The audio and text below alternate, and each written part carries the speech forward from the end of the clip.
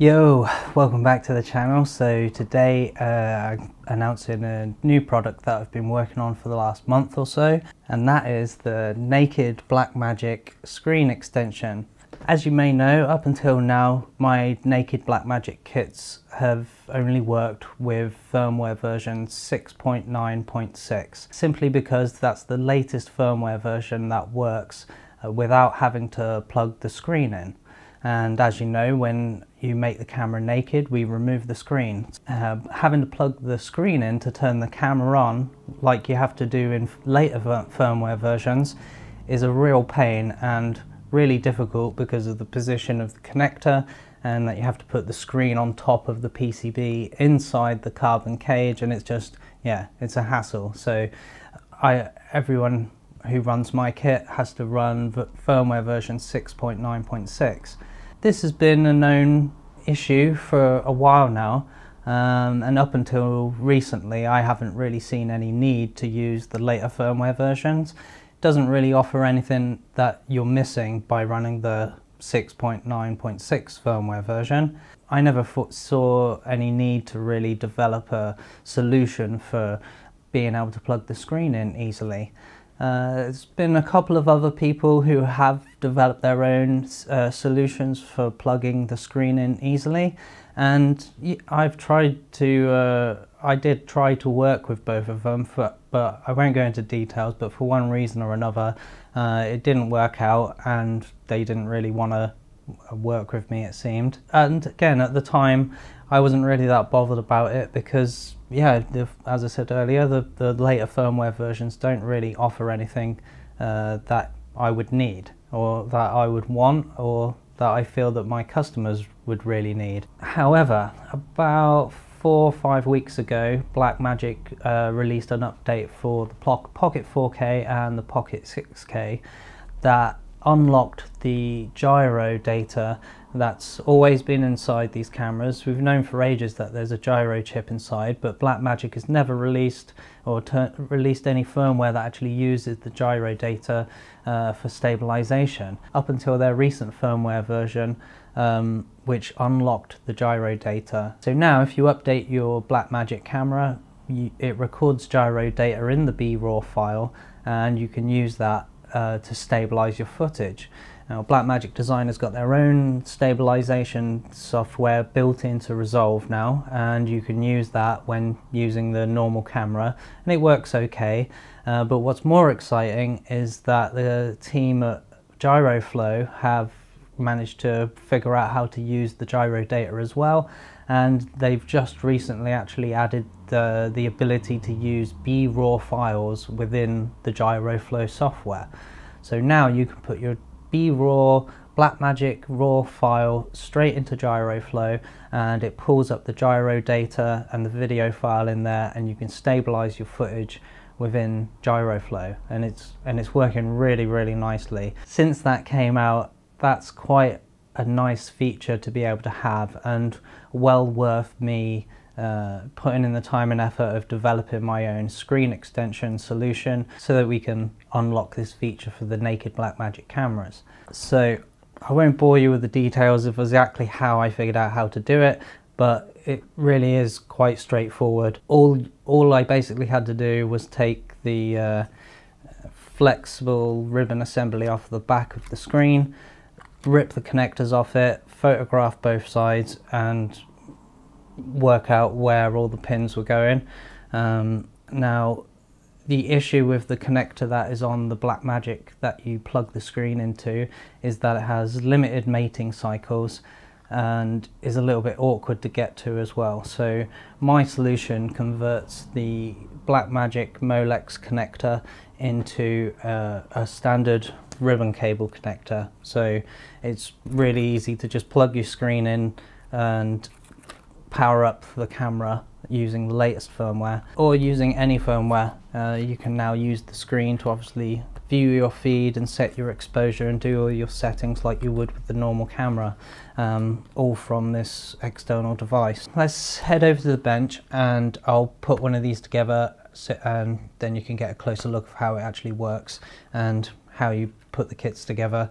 These will be sold uh, I'm selling these already ready to go along with the ready to go cameras or obviously you can buy them as a kit and build your own. So uh, yeah, let's head over to the bench now and check it out. Okay, these are the components that come with the screen extension kit. Uh, you've got the screen surround, which is a resin printed part with four M3 threaded inserts for fitting the front and back carbon plates. Uh, these are the, that's the front plate, obviously leaving a big gap for the, so you can see the screen. And that's the rear plate that's got a little cutout for the buttons. Okay, so this is the PCB that fits onto the back of the screen. And as you can see, it's got those two buttons that I said pokes through the back, back, back plate. Uh, the reason why I've done it like this is because didn't really need all six of the Blackmagic buttons and by using the original Blackmagic buttons like some other people have done means that the screen has to be quite a bit longer just to accommodate six buttons when in reality we only need two. And if you look if you actually if you use the latest firmware you actually only need the playback button. Um, but you just need one button for entering the menu and one, butter, one button for entering the playback mode. We've got a ribbon cable connector there for connecting the screen and this is for connecting the touch control and then this big one in the middle there is uh, for the main ribbon cable that connects the screen to the Blackmagic. This is the PCB that fits onto the Blackmagic itself uh, you can see there it's got the same connector, but this one has these uh, as being customized. If I show you this one here that doesn't have the additional parts added to it, you can just see that it's a plain ribbon cable. The ribbon cable can just go in at any angle, and if you were connect, if you were to connect the wrong pins uh, in there, then you could fry your Blackmagic quite easily. So I knew that I needed to come up with my own uh, a little attachment to go on the end here to convert the connector into something a little bit easier to use. So what we have here is a kind of a, a guiding system. That's so that the ribbon cable can just very easily just be guided straight into uh, the connector. I've also got this additional piece here so it makes it really easy to lift the clip up and down. It's not everyone's got tiny little fingers or fingernails so it's got this additional little piece on the clip to make it really easy to pull in and out and then as I said this guiding system just makes it so that it just slots straight in really easily. There's no messing around. Uh, what it prevents from happening you can't you can't put this in at a weird angle. Uh, you could maybe force it, you're not going to be able to accidentally put that in at a weird angle. So that just guides it in at the right, at the perfect way and slots straight in. And then you can just use the little connector, uh, pull the connector down and it's a nice solid connection. Uh, so it's nice and easy to, to plug the screen in and out. So when you remove the screen from the Blackmagic, you're going to have something like this. Uh, the first thing you're going to do is just remove the buttons.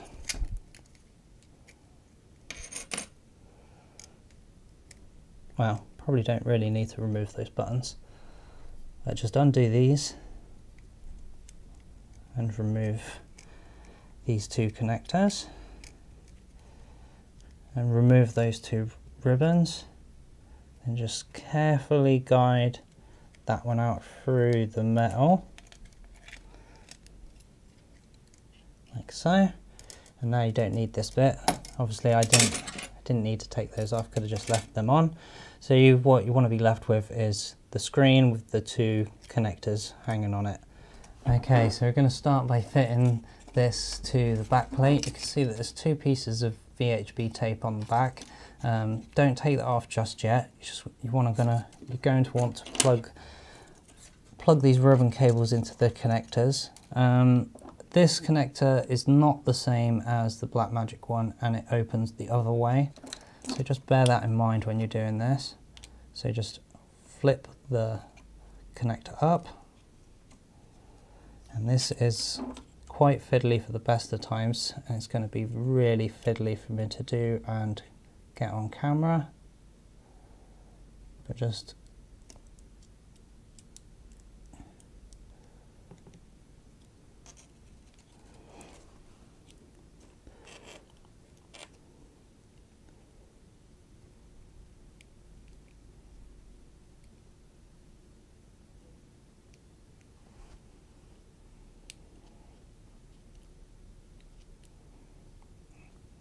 Go. So you'll see that these two little tabs that stick out either side will butt up against the connector and it should be nice and straight. So keep it straight and pull the tab down. There you go, it's all firmly in there, nice and secure. And this one's for the touch control and it's a little bit more, it's a little easier to get in. Still, it's not quite perfect. And this one doesn't doesn't go all the way in unfortunately because it's quite a thick piece of flex. So you just get it in like that and you can tell it's in because you can't pull it out. That's it. There we go. So you've got both the connectors in and they're fitted. And then go ahead and remove the VHB tape and stick it down in place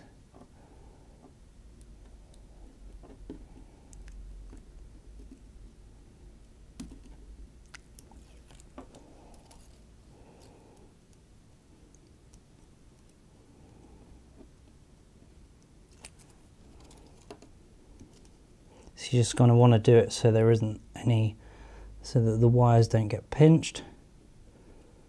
Main one to concentrate on is this top one.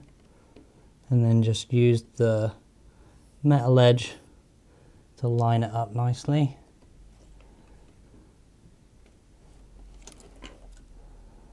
Like so. And now we have the back, now we have the screen PCB fitted can go ahead and fit the screen to the surround. You can see that uh, there's two sides to this. You can one where you can where the threaded inserts are fully exposed, one where they're not. The one where they're not is the front side and you'll also see there is a slot at the bottom so you want the slot at the bottom and then you put the connectors over to the left hand side so just drop the ribbon cable through if you've got it connected. And the screen just fits really flushly, fits flush with the plastic surround. Then you're going to take your front carbon plate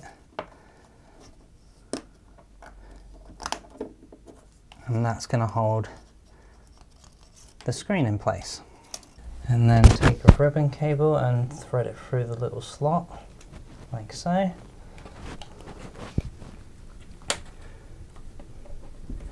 Make sure all your plates are fitted nicely.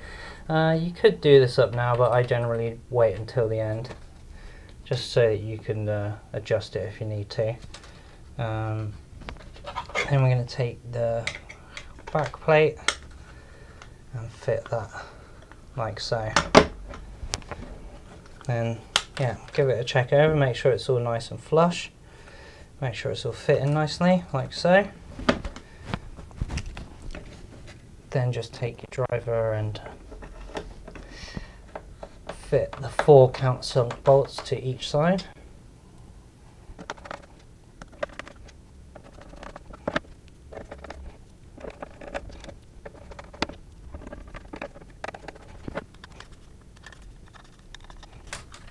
Like so. Now we have a finished screen. You can see there we've got the play, playback and the menu buttons on the back.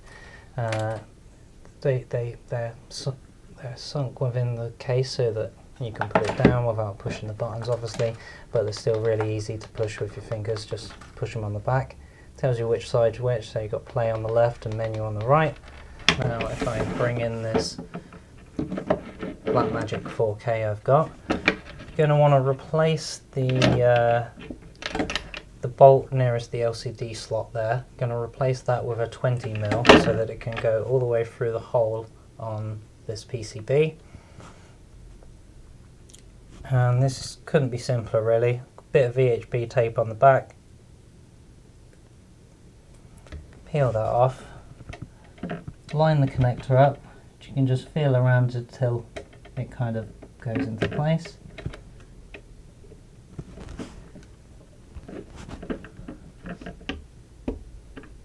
Push the connector down. VHB tape there and uh, obviously use an M2 nut to bolt down on that and that's going to hold all of that in place so there won't be any movement.